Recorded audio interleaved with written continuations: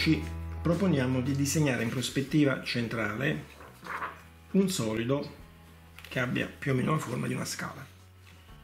Quindi diciamo che in pianta può presentarsi in questo modo.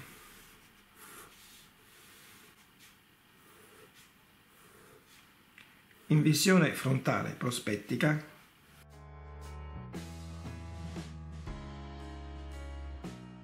potremmo avere questa immagine più o meno le misure sono queste, profondità 6 cm, ogni pedata, se vogliamo assimilare a una scala questo solido, è 2 cm, ogni alzata è un centimetro e mezzo. Quindi abbiamo un totale, un'altezza totale di eh, 6 cm. In visione astronometrica più o meno il solido potrebbe presentarsi in questo modo.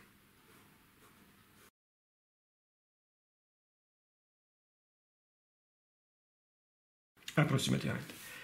Ma noi abbiamo detto che vogliamo disegnare in prospettiva centrale. Prospettiva centrale vuol dire che guardando il piano, il geometrale dall'alto, circa le distanze e punto di vista, il nostro solido sarà disposto più o meno in questo modo, con i lati, o almeno alcuni dei lati paralleli alla linea di terra, che è questa. Se così non fosse, se cioè il solido fosse disposto in posizione obliqua, in questo caso avremo una prospettiva non più centrale, ma accidentale. Quindi lati del solido paralleli al quadro, ovvero alla, alla linea di terra, eh, prospettiva centrale. Lati inclinati, prospettiva accidentale.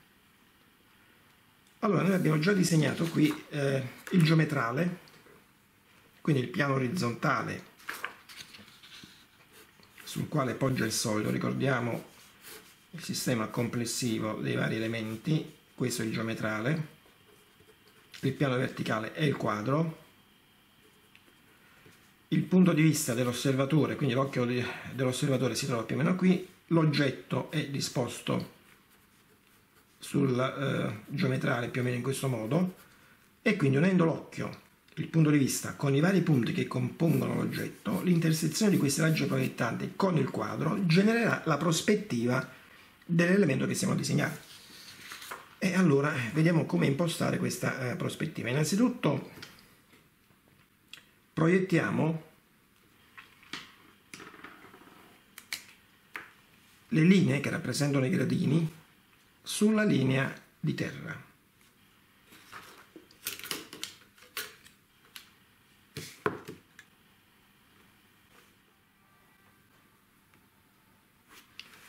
Ecco, queste linee di proiezione che abbiamo rappresentato in verde, ma che voi rappresenterete con una matita leggera, quindi i colori verde e rosso stanno a indicare una matita dura, che dà luogo a una linea molto uh, sottile e leggera.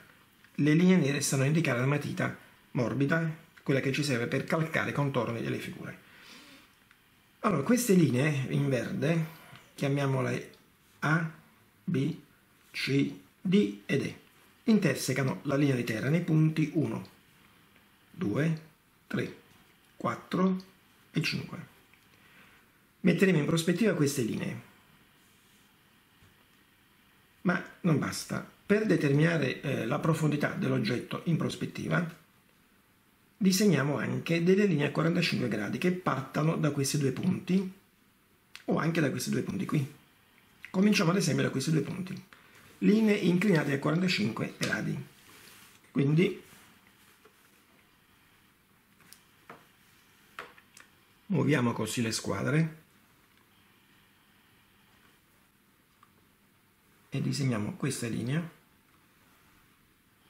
e disegniamo questa linea chiamiamo i punti di intersezione 6 e 7, intersezione con la linea di terra. Quindi noi disegneremo in prospettiva la pianta della scala, cioè questa immagine qui, utilizzando, o meglio, mettendo in prospettiva le linee A, B, C, D che intersecano la, la linea di terra nei punti 1, 2, 3, 4 e 5. Individueremo la profondità in prospettiva di questa pianta disegnando la prospettiva di queste linee che possiamo chiamare F e G inclinate a 45 gradi che intersecano la, la linea di terra nei punti 6 e 7.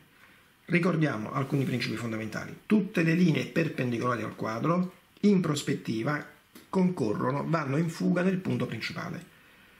Tutte le linee inclinate a 45 gradi rispetto al quadro e parallele al geometrale avranno il punto di fuga nella distanza sinistra se vanno verso sinistra, nella distanza destra se vanno verso destra. E dunque non ci resta che impostare allora il disegno della prospettiva. E allora cominciamo a disegnare il quadro che è compreso fra la linea di terra e la linea di orizzonte e assumiamo come distanza tra, tra linea di terra e linea di orizzonte una distanza pari per esempio a 8 cm.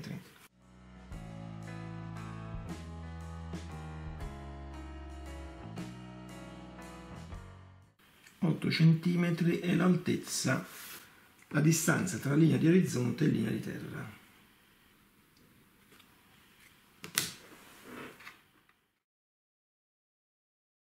In questo caso dovremo usare una, una riga un po' più lunga.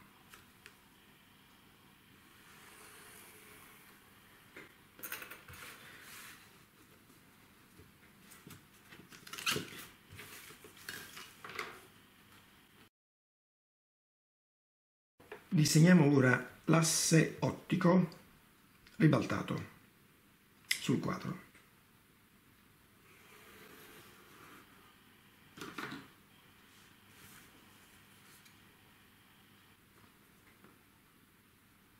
L'asse ottico è questo. Immaginiamo l'asse ottico e l'intero cerchio delle distanze di ribaltarlo, mettiamo che sia, siano in questo piano, ribaltiamo il piano sul piano verticale, cioè sul quadro. Ovviamente sarà posizionato al di sopra della, della linea di orizzonte, il cerchio delle distanze. E allora vediamo questa distanza, quant'è? Questa distanza del punto di vista dal quadro è di 16 cm. In realtà noi dovremmo prendere una distanza pari più o meno a una volta e mezza alla diagonale dell'oggetto, che è poco più di 13 quindi eh, dovremo avere una, una, distanza ottimale di eh, più o meno una ventina di centimetri. Perché questa regola? Eh, questa regola serve ad evitare fenomeni di aberrazione, cioè di deformazione dell'immagine. Il nostro foglio tuttavia non è molto grande, quindi cerchiamo un po' di adattarci e prendiamo una distanza non di 20 cm, ma abbiamo detto di 16 cm dal quadro distanza del punto di vista dal quadro e riportiamo questa distanza e disegniamo il cerchio delle distanze.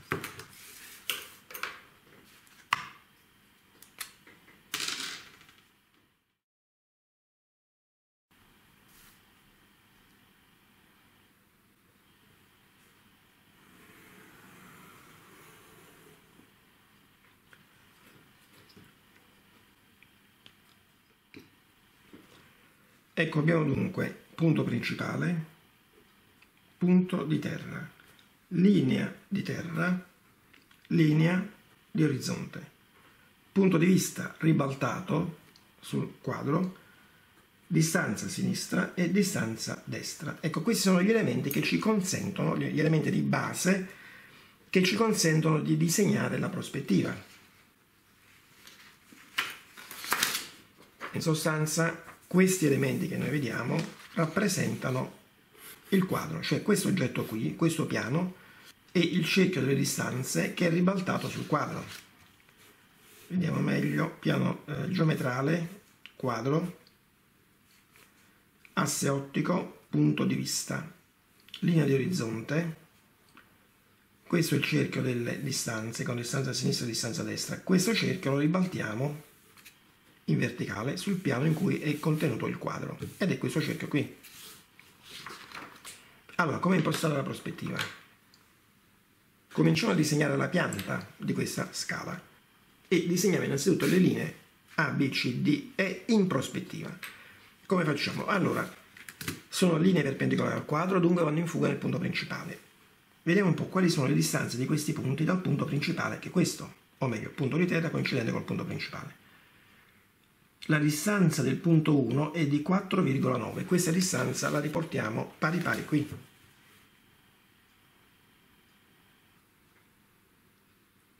Questo è il punto 1. Distanza del punto 2 dal punto di terra, coincidente col punto principale.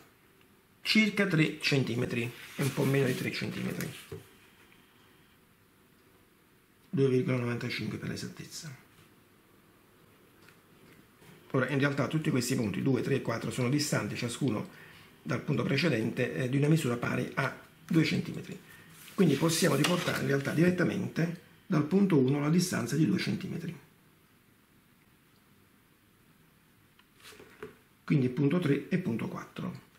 Il punto 5 si trova a una distanza di 6 cm dal punto 4 e quindi si troverà qui. Questo è il punto 5. Dunque abbiamo detto le rette A, B, C, D eccetera che partono da questi punti vanno in fuga nel punto principale dunque uniamo i punti che abbiamo qui rappresentato con il punto principale.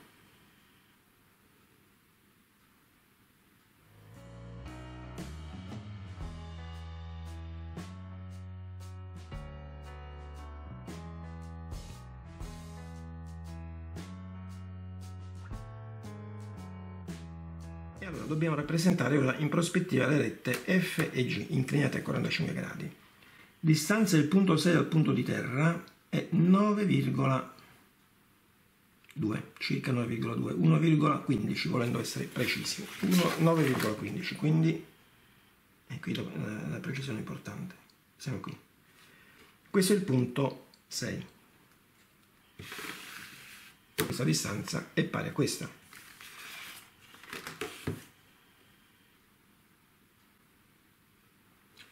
Questo è il punto 7. Ora, queste linee, abbiamo detto, sono inclinate di 45 gradi, vanno verso sinistra rispetto a me, all'osservatore che è qui, quindi le eh, loro prospettive vanno in fuga nel punto di stanza sinistra di S.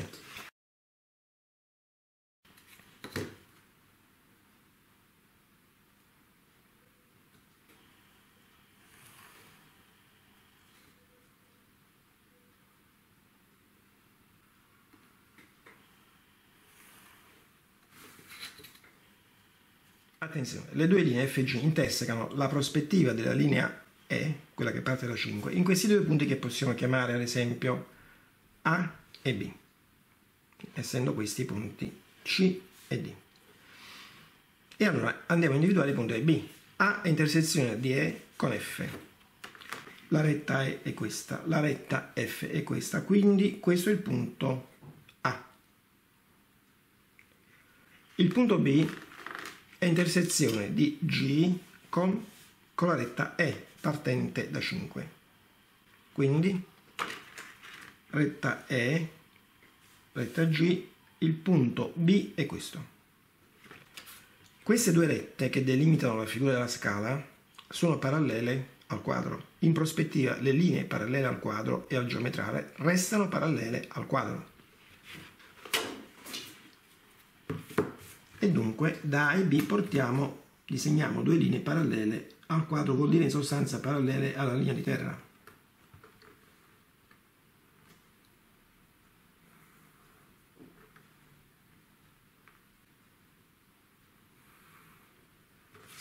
Dunque, A, B, C, D, la pianta, A, B, C, D, la pianta della scala. Qui in, eh, in rosso sono, indicati, sono, in, sono indicate le proiezioni di questi gradoni, di queste alzate sulla pianta, sul piano orizzontale. E allora vediamo come disegnare questi gradoni tenendo conto che l'altezza di ciascuno è di un centimetro e mezzo. E allora, dal punto 1 stacchiamo un segmento verticale dell'altezza di un centimetro e mezzo.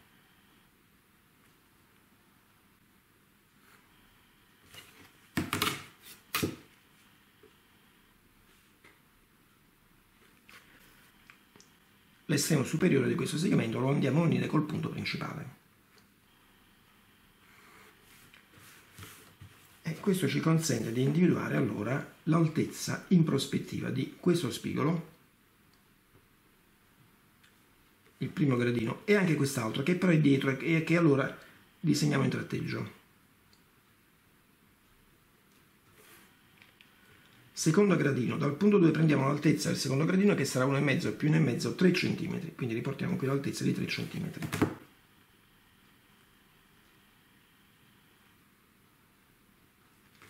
Siamo qui, uniamo col punto principale e quindi individuiamo l'altezza del secondo gradino. Consideriamo che eh, da questo punto la pedata in prospettiva la vedremo come una linea orizzontale.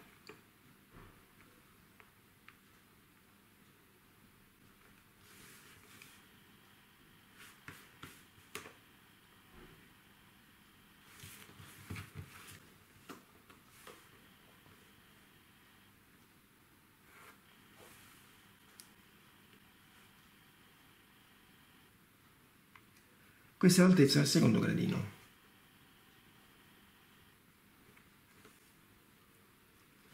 L'altezza del terzo gradino sarà 1,5 più 1,5 più 1,5, 4,5. Ci troviamo qui.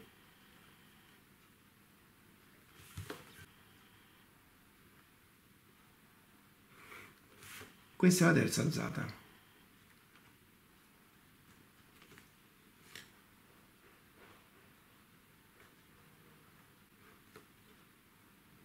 Dal punto 4 dobbiamo riportare un segmento di altezza pari a 6 cm.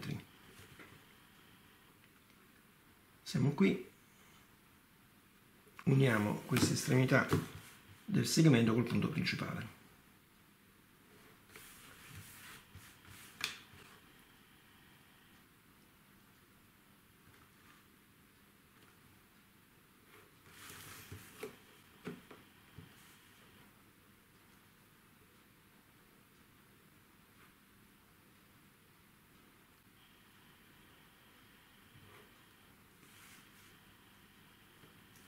Questa è la quarta alzata.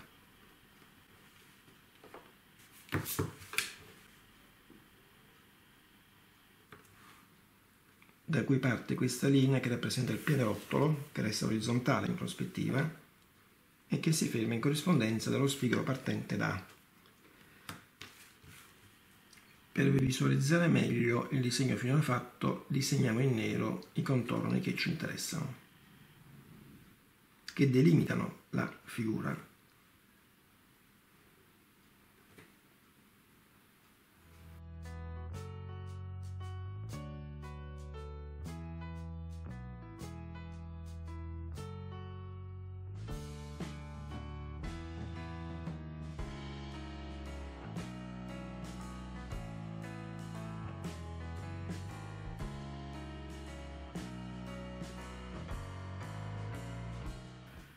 Quindi questa è la forma della scala, del profilo della scala in prospettiva. Dobbiamo disegnarne la profondità.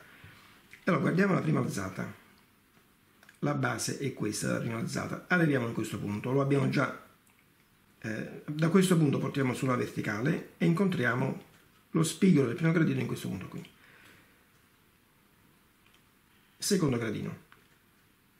Lo spigolo del secondo gradino è questo fin dove arriva. Da questo punto portiamo sulla verticale, arriviamo qui. Terza alzata, questo è lo spigolo della terza alzata, per vedere dove arriva in profondità portiamo su questo punto, intersezione, arriviamo qui. Per quanto riguarda l'ultima alzata, lo spigolo dell'ultimo gradino è questo, in pianta portiamo su dunque questo punto. E qui arriva l'ultimo scalino.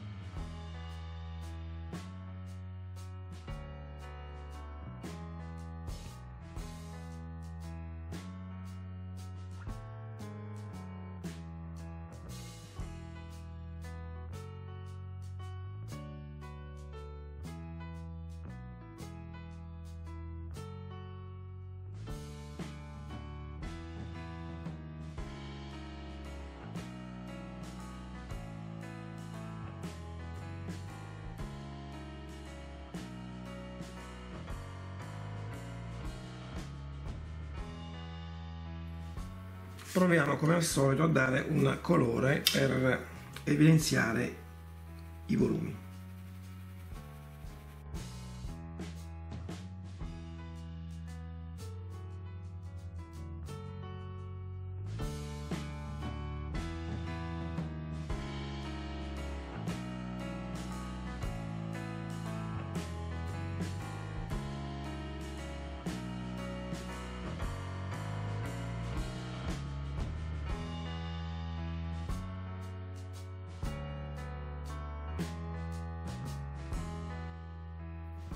Bene, ci possiamo fermare qui e dunque buon lavoro.